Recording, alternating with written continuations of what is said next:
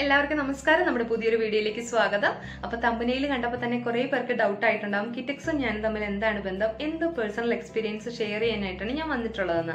നമ്മുടെ ചാനൽ എന്ന് പറയുന്നത് ഒരുപാട് വ്യൂസ് ഒന്നും കിട്ടുന്ന ചാനലല്ല പക്ഷെ കാണുന്ന കുറച്ച് പേരിൽ ഈ വീഡിയോ കാണുന്ന കുറച്ച് പേർക്കെങ്കിലും കിറ്റക്സിനെ കുറിച്ച് തെറ്റിദ്ധാരണയുണ്ടെങ്കിൽ എന്റെ പേഴ്സണൽ എക്സ്പീരിയൻസ് കേട്ടിട്ട് അത് മാറുവാണെങ്കിൽ ഞാൻ ജോലി ചെയ്ത ഈ ഒരു സ്ഥാപനത്തിനോട് കാണിക്കുന്ന ഏറ്റവും വലിയ ഒരു നന്ദിയായിട്ട് ഞാൻ കണക്കാക്കുന്നു.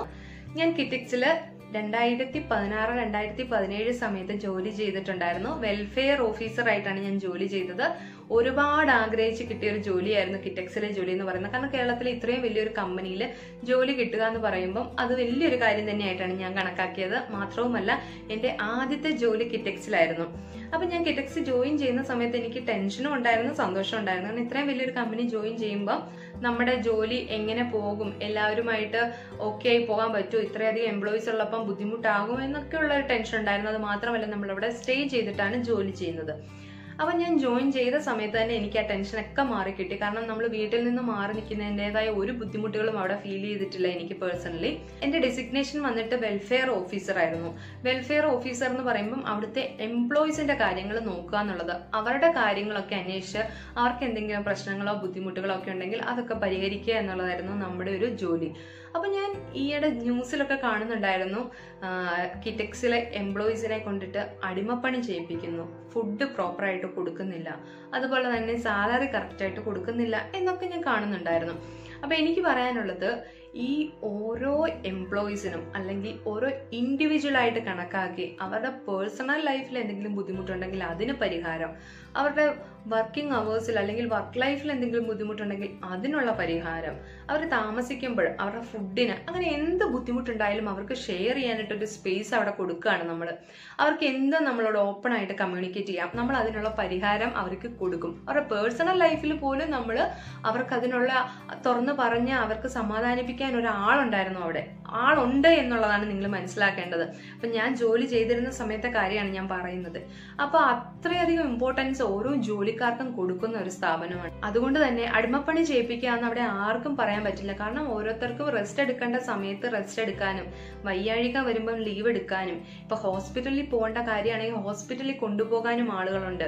അല്ലെങ്കിൽ പെട്ടെന്ന് ഒരു എമർജൻസി വന്നു കഴിഞ്ഞാൽ അവിടെ നോക്കാൻ നേഴ്സ് ഉണ്ട്. അങ്ങനെ എല്ലാ സജ്ജീകരണങ്ങളും എല്ലാ ഫെസിലിറ്റിയോടും കൂടിയാണ് ആ ഒരു കമ്പനിയിൽ നമ്മൾ ജോലിക്ക് കയറുമ്പോൾ നമുക്ക് കിട്ടുന്നത്. അങ്ങനെയുള്ള എല്ലാ ഫെസിലിറ്റീസും കിട്ടുമ്പോൾ നമുക്ക് ഒരു ബുദ്ധിമുട്ടുകളും അതിനകത്ത് ഉണ്ടാവില്ല.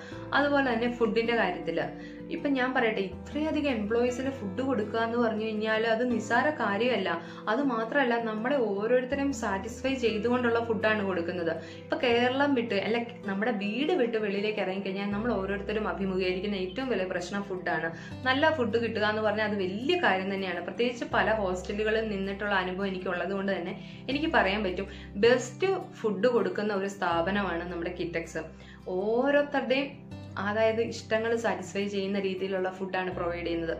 അതിനകത്ത് അവർക്ക് ഏറ്റവും വലിയ നന്മ എന്ന് പറഞ്ഞാൽ തന്റെ കമ്പനിയിൽ ജോലി ചെയ്യുന്ന ആളുകളുടെ ആരോഗ്യം നന്നായിരിക്കണം. അവർ സന്തോഷമായിട്ട് വേണം തന്റെ കമ്പനിയിൽ ജോലി ചെയ്യാൻ എന്നുള്ള ആ ഒരു മനസ്സിന്റെ നന്മ കൊണ്ടാണ് അത്രയും കാര്യങ്ങളും ചെയ്തു കൊടുക്കുന്നത്. അത് നമ്മൾ മനസ്സിലാക്കേണ്ട കാര്യം തന്നെയാണ്. അതെല്ലാം നമ്മുടെ കേരളത്തിലുള്ള ഈ ഒരു കമ്പനിയാന്ന് ഓർക്കണം. പിന്നെ വന്നിട്ട് സാലറിയുടെ കാര്യം പറയുകയാണെങ്കിൽ എന്റെ പേഴ്സണൽ എക്സ്പീരിയൻസിൽ ഞാൻ ആർക്കും അവിടെ സാലറി കൊടുക്കാതിരിക്കുന്നത് കണ്ടിട്ടില്ല. കറക്റ്റ് മാസം ഒരു ഡേറ്റിൽ അവിടെ സാലറി ക്രെഡിറ്റ് ആയിരിക്കും. അല്ലെങ്കിൽ നിങ്ങളൊന്ന് ചിന്തിച്ച് നോക്കി ഇത്രയും വലിയൊരു കമ്പനിയിൽ ഇത്രയും ജോലിക്കാരെ വെച്ചിട്ട് അവർക്ക് കറക്റ്റായിട്ട് വേതനം കൊടുത്തില്ല എന്നുണ്ടെങ്കിൽ സാലറി കൊടുത്തില്ല എന്നുണ്ടെങ്കിൽ അവർ വഴക്കുണ്ടാക്കില്ലേ ബഹളം ഉണ്ടാക്കില്ലേ സമരം ചെയ്യത്തില്ലേ? അതൊക്കെ ചിന്തിക്കണം. കറക്റ്റായിട്ട് അവർക്ക് സാലറി കൊടുക്കുന്നത് കൊണ്ടല്ലേ അവരൊക്കെ ഇവിടെ ജോലി ചെയ്ത് മുന്നോട്ട് പോകുന്നത്. കിറ്റക്സ് എന്ന് പറയുന്നത് ഇന്റർനാഷണൽ ലെവലിൽ പ്രവർത്തിക്കുന്ന ഒരു വ്യവസായ സ്ഥാപനമാണ്. അതിന്റെ ആ ഒരു ഓർഗനൈസേഷൻ സ്ട്രക്ചർ എന്ന് പറയുന്നത് ആ ഒരു ലെവലിൽ കൊണ്ടുപോകുന്നതാണ്. ഇങ്ങനെയുള്ള ഒരു കമ്പനിക്ക് ഇത്തരം വീഴ്ചകൾ പറ്റുമെന്ന് നിങ്ങൾക്ക് തോന്നുന്നുണ്ടോ? ഒരിക്കലും ഇല്ല അതിനും അതെല്ലാം നോക്കി കണ്ട് നടത്താൻ ഓരോ ജോലിക്കാരുണ്ട്. അതനുസരിച്ചിട്ടാണ് അവിടെ ഓരോ കാര്യങ്ങളും പോകുന്നത്. ഈ വീഡിയോ കാണുന്ന നിങ്ങൾ ഓരോരുത്തരോടും എനിക്ക് പറയാനുള്ളത് കിറ്റക്സ് എന്ന കമ്പനിയെ മുൻനിർത്തി നിങ്ങൾ ചിന്തിക്കണം. പതിനായിരക്കണക്കിന് കുടുംബങ്ങളുടെ അന്നമാണ് കിറ്റക്സ്. അപ്പൊ ഈ ഒരു കിറ്റക്സ് നമ്മുടെ കേരളത്തിൽ നിന്ന് തെലുങ്കാനയിലേക്ക് പോകുമ്പോൾ ഇത്രയധികം കുടുംബങ്ങളെ അല്ലെങ്കിൽ ഇത്രയധികം ജോലിക്കാരെ അത് ബാധിക്കുന്നു. അവർ എങ്ങനെ ജീവിക്കും? ഇവർക്ക് ആര് ജോലി കൊടുക്കും? അതുപോലെ തന്നെ ഇവരുടെ കുടുംബങ്ങൾ എങ്ങനെ കഴിയും? നാളെ ഇവരുടെ ഭാവി എന്താവും? ഇതൊക്കെ നമ്മൾ ചിന്തിക്കേണ്ടിയിരിക്കുന്നു. ഇത്രയും വലിയൊരു വ്യവസായം പെട്ടെന്നൊരു പറിച്ചുനടൽ ഉണ്ടായാൽ വരുന്ന ചെറുകിട വ്യവസായത്തിന്റെ കാര്യങ്ങളൊന്നും നമ്മൾ ഇനി പ്രത്യേകിച്ച് പറയേണ്ട കാര്യമില്ല. പ്രത്യേകിച്ച് കേരളത്തിൽ നിന്ന് ചെറുപ്പക്കാരൊക്കെ വെളിയിലേക്ക് വരികയാണ് ജോലി അന്വേഷിച്ചത്. നമ്മുടെ കേരളത്തിലെ ജോലി സാധ്യത അത്രത്തോളം ഉണ്ടെന്ന് നമുക്ക് മനസ്സിലാക്കാം. ഈ ഒരു വിഷയം വന്നപ്പോഴെങ്കിലും നമ്മൾ ചിന്തിക്കണം നമ്മുടെ കേരളത്തിന്റെ പോക്ക് എങ്ങോട്ടാണെന്നുള്ളത്. എന്റെ പേഴ്സണൽ എക്സ്പീരിയൻസിൽ അല്ലെങ്കിൽ എന്റെ ജീവിതത്തിൽ എനിക്ക് കിട്ടിയ ഏറ്റവും വലിയൊരു ഭാഗ്യമാണ് കിറ്റക്സിൽ ജോലി ചെയ്യാൻ പറ്റി എന്നുള്ളത്. അപ്പോൾ ആർക്കെങ്കിലും കിറ്റക്സിനെ പറ്റിയിട്ട് തെറ്റിദ്ധാരണയുണ്ടെങ്കിൽ അവരുടെ തെറ്റിദ്ധാരണകളൊക്കെ മാറണം. കാരണം കിറ്റക്സ് എന്ന കമ്പനി ഇത്രയും പേർക്ക് ജോലി ചെയ്യാൻ അവസരം തന്ന ഇത്രയും നന്മകൾ ചെയ്യുന്ന ഒരു കമ്പനിയാണ്. ആ കമ്പനി കേരളത്തിൽ നിന്ന് പോകുമ്പോൾ നഷ്ടം നമ്മൾ കേരളത്തിലെ ജനങ്ങൾക്ക് മാത്രമാണ്. അപ്പൊ ആ ഒരു നഷ്ടം മനസ്സിലാക്കി കിറ്റക്സിനെ സപ്പോർട്ട് ചെയ്തുകൊണ്ട് കിറ്റക്സ് കേരളത്തിൽ തന്നെ തുടരണം എന്ന് തന്നെ ഞാൻ ആഗ്രഹിക്കുകയാണ്. അപ്പൊ എന്റെ ഇന്നത്തെ വീഡിയോ ഇത്രേ ഉള്ളൂ.